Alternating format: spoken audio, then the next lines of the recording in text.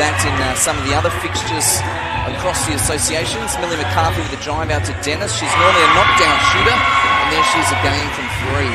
A panic timeout as yet, but uh, if that lead got too much more, you'd think that he may be keen to call one. Edwards, nice move. Closes herself and scores two. Into single figures for the Hawks. They're under a little bit of pressure this time as well. Sadie tries to create space. Doesn't do too badly. Turns around with the right hand and is able to score.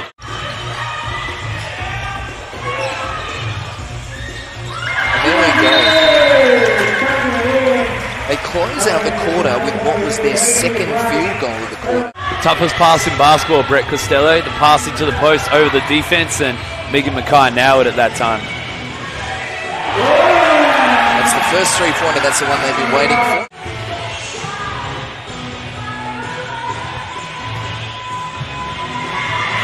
Was a good use of space there from uh, Maddie Dennis to score two points. And the Cougars are away once again. Nice drive and floater. Lovely move then.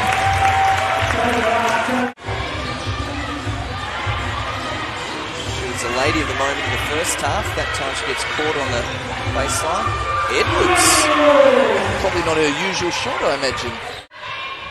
Six points now for Edwards. Very nice pick and roll action there. Dennis to Megan McKay for two points. Through to Burden, who's outside of her usual range.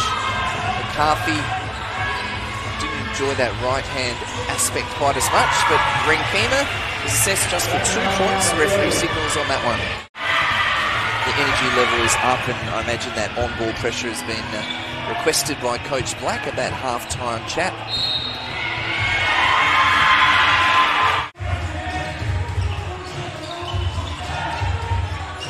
Well, it was very flat from McKay, but it uh, it worked. Made it work. Made it work.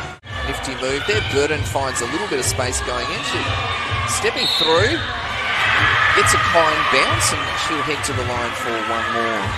And that's uh, resulted in this big lead for them. Tharp with nowhere much to go. Passes into trouble, to be fair. The Hawks probably fortunate there. Rinkema, though, they've given her two again.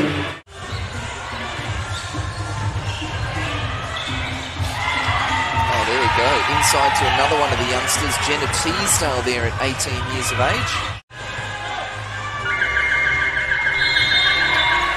Flips up the runner as time expires here at Wally Hagan. And that'll be the final score, 74 to 45.